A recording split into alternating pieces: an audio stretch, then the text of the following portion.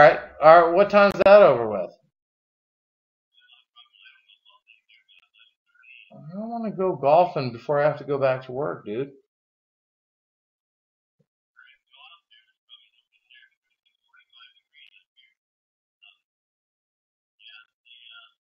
I didn't mean golfing. I, I let's substitute the word golfing for drinking. Why don't you come over here and bring some more liquor? Because mine's almost gone. That's what I meant to say. All right. Yeah, Super Bowl on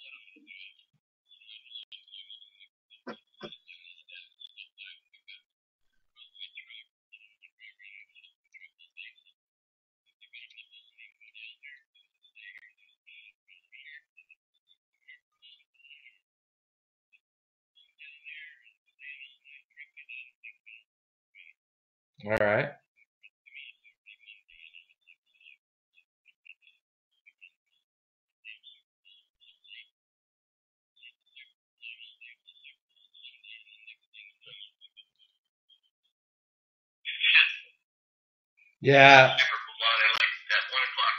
know, fuck shit.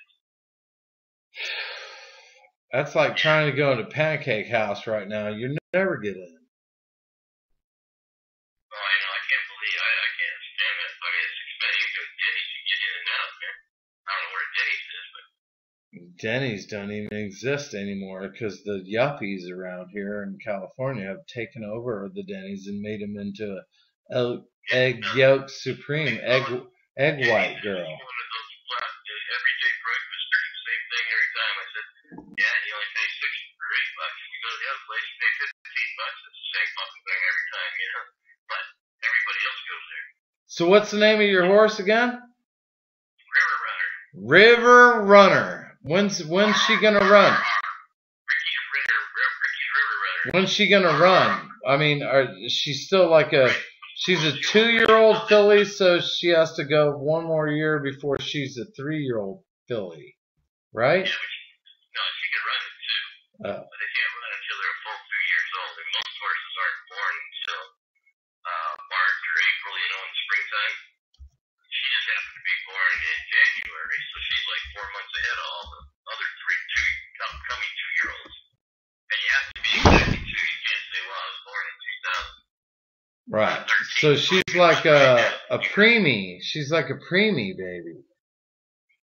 Well, Oh, but- yeah, someone, someone got a little frisky on Christmas Eve, I guess, or something, and had it during, you know, the next year or something. But Hey, not to change the subject, but you don't mind taking care of a pregnant dog uh, dog for the first six or eight weeks of her pregnancy, do you?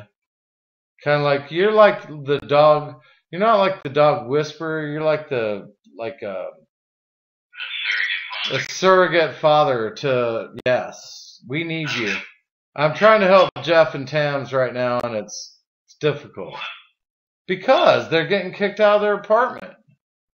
Yeah, why is that? Well, because they have a dog, and dogs are fucking like the devil, and they need somebody to take their dog so they can get a new apartment.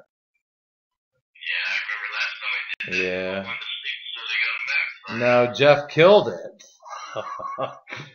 He murdered it. He murdered it. But we'll move beyond that. My friend is a dog killer. Yeah. Oh yeah, yeah, Keena. Well, you know what? I I offered to, you know, that little dog right there. We could go. Let's go Denver, and we just take a little ride up to Cuyamaca or something. Stop by the side of the road. Wham, wham, wham, blam! Like fucking five loads of buckshot.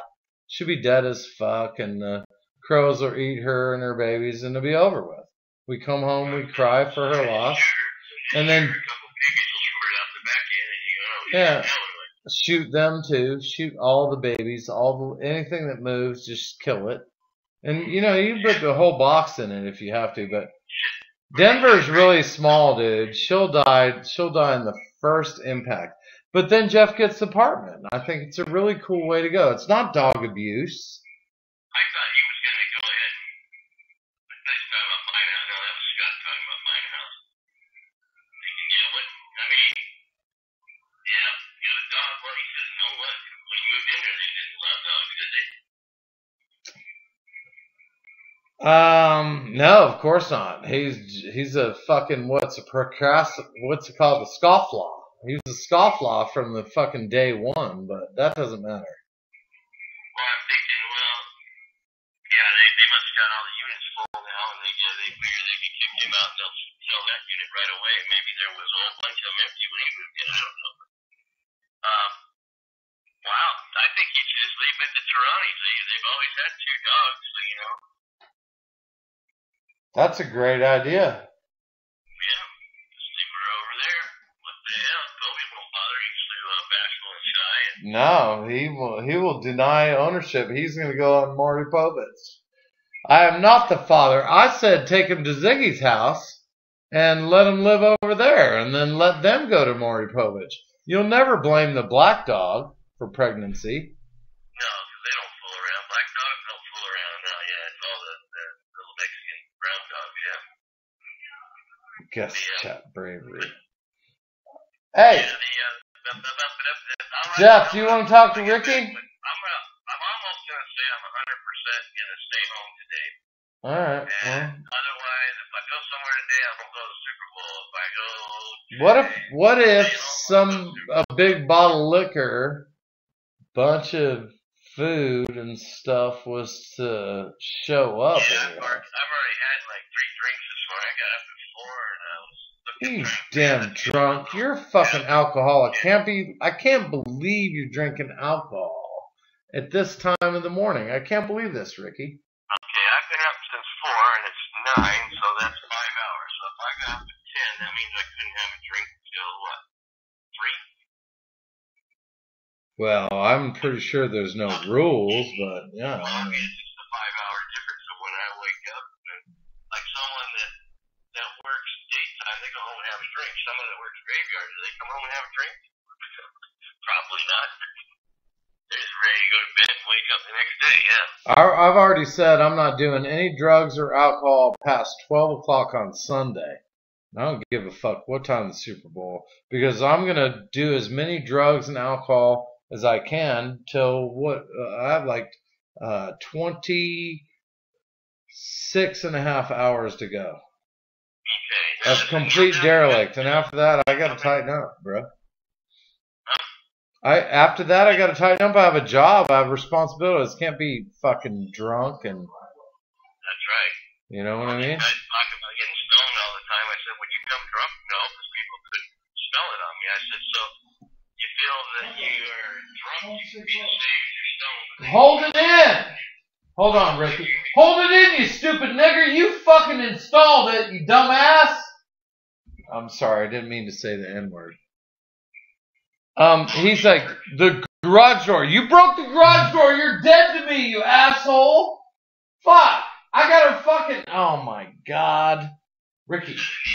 Fucking Jeff just woke up from some kind of drunken frenzy popcorn spamming thing that he did.